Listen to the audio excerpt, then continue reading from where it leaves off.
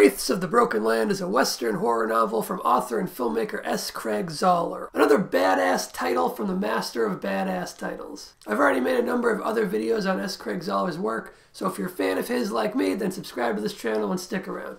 I've reviewed his films Brawl in Cell Block 99 and Dragged Across Concrete, the latter of which I also made an in-depth video essay on. We also ran a D&D campaign based on Bone Tomahawk on this channel, and I've previously reviewed his novels Mean Business on North Ganson Street and Corpus Chrome Inc.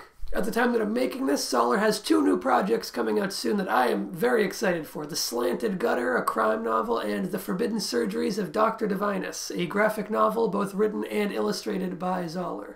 So keep an eye out for those. S. Craig Zahler has been a major influence on my own writing, and I got to thank him in the acknowledgments of my debut novel, The Fall of Polite, which was just released. It's a post apocalyptic novel of survival and revenge set in a freshly lawless New England in the dead of winter. If you want to learn more about my novel or pick yourself up a copy, then check the links in the description. But that's enough about that. We're here to talk about Zahler. I'm clearly a huge fan of S. Craig Zahler's work, and the first of his projects that I had the pleasure of experiencing was his feature film directorial debut, Bone Tomahawk, which is the other project of his that Wraiths of the Broken Land is most similar to. It's also pretty similar to A Congregation of Jackals, his first novel, as both are brutal westerns, but Wraiths and Bone Tomahawk both share a horror western fusion. The basic story spine of Wraiths is a rescue mission that sees two Plugford brothers and their outlaw father, along with a couple of outsiders, heading into a hellish Mexican brothel to save their sisters from imprisonment, torture, and forced prostitution. It's a brutal story filled to the brim with compelling characters, inventive scenarios,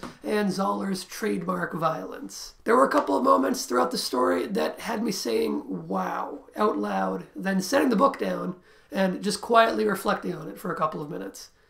It's always great when a book can achieve that kind of reaction. And one of these moments came right from the first couple of pages. Wraiths is remarkably well paced. There's practically no downtime once the plot is set in motion, the one exception being an extended flashback, which deepens our understanding of the character while also being the only break from the otherwise relentless momentum. Going into this horror western after Bone Tomahawk sort of sent me into this novel with the wrong idea as to the nature and structure of the horror. Bone Tomahawk has a couple little hints of horror early on, but it's really only in the last 15 minutes or so of the film that it twists into full on horror to a shocking and impressive effect. Because of the way the structural genre change was handled in Bone Tomahawk, I was expecting the same sort of thing in Wraiths. As I was reading, I kept anticipating a moment where a major stylistic shift would happen and plunge the story into all out horror but that didn't happen. With Wraiths of the Broken Land, there's no sudden jump into horror, but rather a steady blending of Western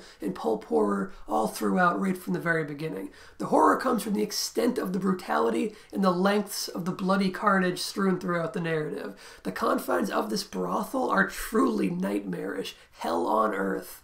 Reading the experiences of the two sisters trapped in this place generates an intense degree of empathy as they suffer through their excruciating conditions. And then there's the scorpions, good stuff. Read the book to see how the scorpions come into play. Just know that the scorpion on the cover wasn't randomly chosen because of the setting or something like that. It's it's important, it's pivotal. The characters are all well drawn and distinct from one another. The standout character for me was Long Clay, a former member of the Plugford Patriarchs gang who is unflinching in his brutality and downright terrifying in the lengths he will go to ensure the job is a success. He's less of a protagonist and more of a fucked up bad guy who just so happens to, luckily, be on the good guy's side. He's an extremely compelling character who you can fear, hate, and root for all at the same time. The other characters are all interesting, well rounded, and believable in their personal goals, morals, and breaking points. One of my favorite things about S. Craig Zahler's stories is how unpredictable they are, and Wraiths of the Broken Land is no exception.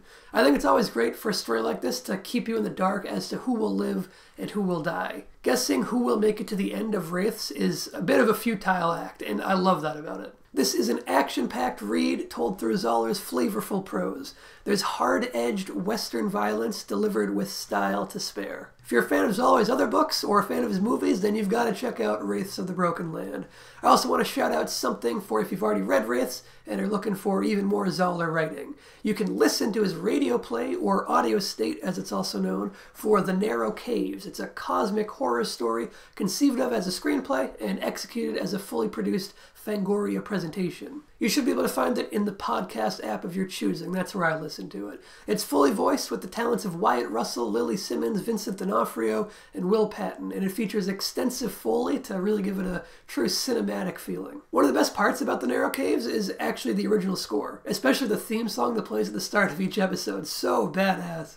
It is done by Zahler himself as part of his synth duo with Jeff Herriott, binary reptile. If you haven't already, then check out some of the other S. Craig Zahler content I've made on this channel. Subscribe and stick around for more. Thanks for watching, and yes, this is my real voice. It's what I sound like all the time. I'll see you in the next video. Bye.